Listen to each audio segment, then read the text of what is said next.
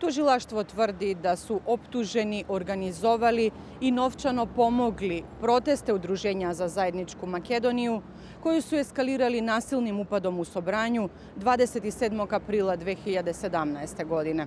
Prema optužnici, oni su kao organizatori uključili celu partijsku strukturu i pritom omogućili kontinuirano smanjenje broja policijskih službenika koji su obezbeđivali proteste, kao i zgradu Sobranja. Tužilaštvo navodi da su kritičnog dana u sedištu jedne političke stranke dvoje od optuženih mobilisali članstvo partije iz Koplja i ostalih gradova kako bi na silu ušli u Sobranje. Znali su da policija adekvatno ne štiti ulaze u parlament. Jedan od osumnjičenih, koji nije dostupan organima gonjenja, doneo je vatreno oružje i pancire osobama koje imaju iskustvo u rukovanju oružjem i izdao naredbu da se onesposobi video nadzor u Sobranju. Za ovaj incident vođeno je nekoliko sudskih procesa.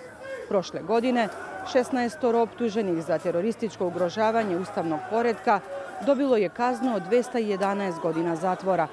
U ovom procesu bilo je 33 optuženih, 15 ih je amnestirano, među njima pet poslanika koalicije koju je predvodio Vamaro Dpamane, čiji su glasovi kasnije bili ključni za promenu imena zemlje.